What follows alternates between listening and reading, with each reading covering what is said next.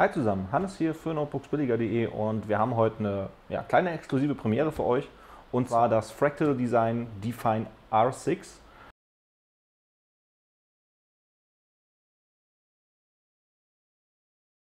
Ja, das Define R6, jetzt das neue Flagship von Fractal Design, beerbt mehr oder weniger das R5. Und ja, was es alles so zu bieten hat, schauen wir uns jetzt einmal an. Fangen wir gleich mal beim Äußeren an, nämlich bei den Staubfiltern. Sehr, sehr wichtiges Feature und hier von Fractal auch wirklich sehr gut gelöst. Nämlich ihr könnt die Staubfilter mit wenigen Handgriffen einfach lösen. Die Frontblende ist ein bisschen hakelig, aber da gewöhnt man sich auch dran. Allzu oft muss man da ja eh nicht dran. Generell die obere Abdeckung äh, sehr praktisch gemacht, lässt sich mit einem einfachen Knopfdruck öffnen. Ihr habt da drin einen ganz normalen äh, Staubfilter wieder sitzen unter der Abdeckung und je nachdem, wie ihr, äh, was für ein Setup ihr fahren wollt, könnt ihr eben entweder eine Schalldämmung oben aufsetzen, die im Lieferumfang schon drauf ist, oder ihr nehmt sie einfach ab und habt oben ein komplett offenes System mit Staubfilter und könnt dort eben beispielsweise eure, euren Radiator unterbringen für die Wasserkühlung.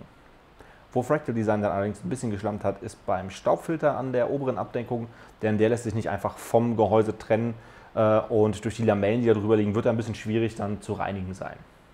Schon die Rückseite zeigt, dass ihr richtig viel Platz für Erweiterungskarten habt. Ihr könnt die Grafikkarte sogar senkrecht einbauen, statt nur waagerecht. Was allerdings ein bisschen schade ist, ähm, da ist der erste kleine Patzer von äh, Fractal.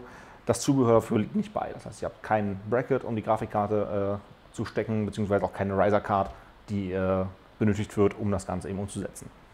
Sehr schön ist, dass ihr an das Innenleben ohne Probleme rankommt. Ihr braucht kein Werkzeug oder ähnliches dafür. Einfach die äh, Thumbscrews lösen und schon lösen sich die Seitenwände ab. Ähm, wir haben jetzt hier das normale Modell stehen, ohne Glasseite, aber es gibt noch eine zweite Version mit äh, Temperate Glass äh, Seite, die dann noch ein bisschen optisch ein bisschen mehr hermacht, um eben das schöne Innenleben des PCs zu sehen. Auch im Innenleben kommt ihr ziemlich weit ohne Werkzeug, denn die ganzen Laufwerksschächte an der Zahl 6 3,5 Zoll Slots, ein 5, ein Viertel Zoll Slot und zwei 2,5 Zoll Slots könnt ihr ohne Werkzeug aus dem Gehäuse entfernen. Ein, äh, einzig dann zum Montieren der Festplatten braucht ihr wahrscheinlich einen Schraubenzieher. Platz findet selbst ein EATX Mainboard, also das heißt, richtig große Boards sind auch kein Problem für das Gehäuse. Uh, unser ATX Mainboard hier wirkt fast ein wenig verloren im Case, weil es einfach so viel Platz bietet. Ähm, sämtliche Laufwerksschächte können entfernt werden. Also wenn ihr eben mehr Platz braucht für eine größere Grafikkarte, für einen fetten Radiator an der Front, äh, oder auch im Deckel, deswegen mussten wir das Ganze ausbauen. Dann äh, könnt ihr das aber tun, das ist überhaupt kein Problem. Und ähm, dann fallen lediglich die 3,5 Zoll Slots weg. Kann man, denke ich, verkraften heutzutage, baut man sich eben größere SSDs ein.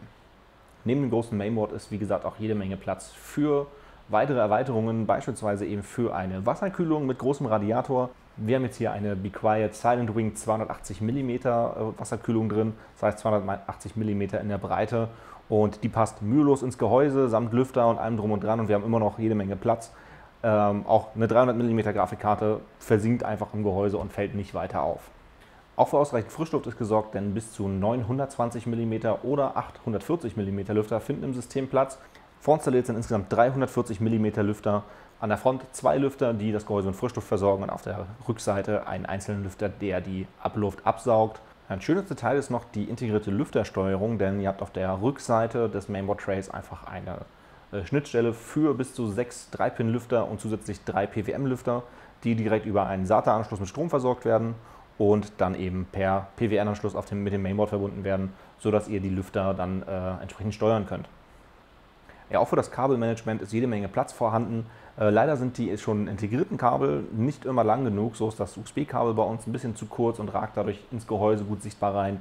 Die Frontlüfter haben ein bisschen zu kurze Kabel und ragen dadurch ins Gehäuse rein. Ähm, das sind so Punkte, die könnte man noch ein bisschen optimieren am Gehäuse. Ansonsten gibt es auf der Rückseite direkt zwei Klettbänder, mit denen sich die, der Hauptkabelstrang äh, befestigen lässt. Ähm, was dem den einen oder anderen fehlen wird, ist wahrscheinlich eine Blende, um die Kabel dann komplett zu verbergen. Aber ich denke, das ist bei dem Preis auch einfach nicht zu erwarten. Netzteile dürften auch größere Modelle überhaupt kein Problem sein. Unser 750 Watt Be Quiet Dark Power Pro passt mühelos hinein. Auch die Kabel kann man daran noch verstauen, sodass sie eben nicht ins Gehäuse reinragen. Das ist also auch überhaupt kein Thema hier. Ja, das waren erstmal die Kernfeatures vom Fractal Design Define R6. Äh, uns hat wirklich sehr, sehr gut gefallen oder mir hat sehr, sehr gut gefallen. Es war super einfach, hier einen PC reinzusetzen und wie ihr vielleicht sehen können, wir, jetzt, wir haben jetzt einen sehr, sehr leistungsfähiges Setup drin, eben mit 750 Watt Netzteil. Wir haben hier eine große 280 mm Wasserkühlung drin, äh, einen fetten Core i7 Prozessor, eine GTX 1080 und es ist immer noch jede Menge Platz im Gehäuse. Also das wirklich schon sehr, sehr cool. Gerade wenn ihr ein etwas aufwendigeres Setup fahren wollt, findet ihr jede Menge Platz. Äh, ein paar Kleinigkeiten, gerade so ein paar Anschlussstellen, so ein paar äh, Klemmverbindungen sind ein bisschen hakelig. Auch die Seitenwände sind manchmal so ein bisschen, gehen ein bisschen schwer ab. Das sind aber so kleine Schnitzer, die ich persönlich dem Gehäuse verzeihen kann, ähm, weil es ansonsten einfach sehr, sehr viel bietet. Was ich beinahe vergessen hätte, ist der Preis. Der, sollte man meinen, fällt relativ hoch aus, ist aber eigentlich gar nicht der Fall. Denn die Standardversion, wie wir sie hier stehen haben, liegt bei 129,99 als UVP und die Version mit Temperate Glass äh, Seitenteil liegt dann bei 149,99. Also ein fairer Preis, wie ich finde, für das System. Ihr bekommt hier einiges geboten. Äh, es sind Lüfter mit vorinstalliert, ihr habt jede Menge Platz. Ihr, ihr könnt wirklich gigantische Kühllösungen verbauen, fette EATX Mainboards einbauen.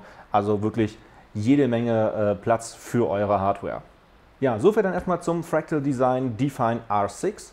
Ähm, ich hoffe, es hat euch gefallen und lasst uns gerne mal ein Abo da, Fragen gerne in die Kommentare und dann bis zum nächsten Mal.